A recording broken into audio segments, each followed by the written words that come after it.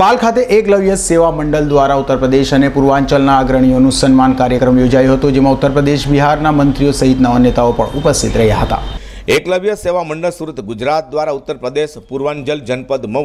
આજમગઢ ગોરખપુર સંત કબીરનગર દેવરિયા બલિયા ગાજીપુરના વર્તમાન કોર્પોરેટરો ધારાસભ્યો અને સાંસદ સભ્યો સહિત જિલ્લા પંચાયત સભ્યો બ્લોક પ્રમુખ ગ્રામ્ય પ્રધાન બીડીસી નિશાંત સમાજના અગ્રણીનું સન્માન સમારોહ પણ પાલ ખાતે આવેલા સંજીવકુમાર ઓડિટોરિયમ યોજવામાં આવ્યો હતો જેમાં બિહારના કેબિનેટ મંત્રી મુકેશ સાહની યુપીના મંત્રી જયપ્રકાશ નિષાદ યુપી બીઆઈ પાર્ટીના રાષ્ટ્રીય અધ્યક્ષ રાજારામ બિંદ રાજ્યસભા સભ્ય જયપ્રકાશ નિષાદ યુપી મછુઆ સમાજના સંયોજક કનેલા નિષાદ અને યુપી કોપાગંજ મહુના બ્લોક પ્રમુખ જયપ્રકાશ સાહની સહિતના ઉપસ્થિત રહેવા પામ્યા હતા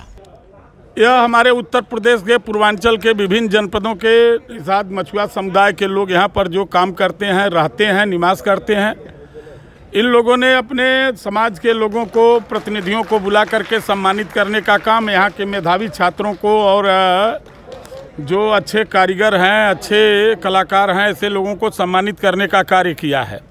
उसी में हम लोगों को भी निमंत्रण था कि आप लोग भी आइए तो हम लोग आए हैं। अपने लोगों को उत्साह बढ़ाने के लिए। और ये जो गुजरात मॉडर्न प्रदेश, देश में रहा है, ये आज पूरे देश में उसी प्रकार से गुजरात के तर्ज पर ही पूरा देश एक विकसित राष्ट्र के रूप में उभर रहा है, शक्तिशाली राष्ट्र के रूप में उभर रहा है। माननीय नरेंद्र मोदी जी, यशस्वी प्रधानमंत्री जी के नेतृत्व में। बहुत ही अच्छा लग रहा है और हमारे उत्तर प्रदेश के सभी समाज के लोग यहाँ पे जुटे हुए हैं और सूरत में आया हूँ। ऐसे पॉलिटिकल काम के लिए मैं आया हूँ समाज से जुड़ने के लिए आया हूँ। बहुत ही अच्छा लग रहा है यहाँ के सारे सरकार का भी व्यवस्था बहुत ही अच्छा है और हम लोग तो 2022 में जो बिहार उत्तर प्रदेश में चुनाव होना है उसकी तैयारी के लिए हम लोग आए हैं और मुझे पूरा उम्मीद है कि 2022 में उत्तर प्रदेश में हम लोग सरकार बनाएँ जैसे हम लोग बिहार में सरकार अपनी बनाए हैं। उसी तरीके से हम लोग चाहेंगे कि उत्तर प्रदेश में भी सरकार बने और जिसमें निषाद समाज का हक अधिकार उनका सम्मान उनको मिले। यही उद्देश्य से आज पूरे देश में हम निषाद समाज को हम लोग निषाद समाज के जितने भी शुभचिंतक हैं सब मिलकर हम लोग मिलकर समाज को एक प्लेटफॉर्म पर ला रहे हैं और ताकि समाज में जागरूकता आए और समाज आगे बढ़े। यही उद्देश्य से हम लोग आज आप सूरत आए हैं। सर आपके समाज के कैसा उत्साह है यहाँ पर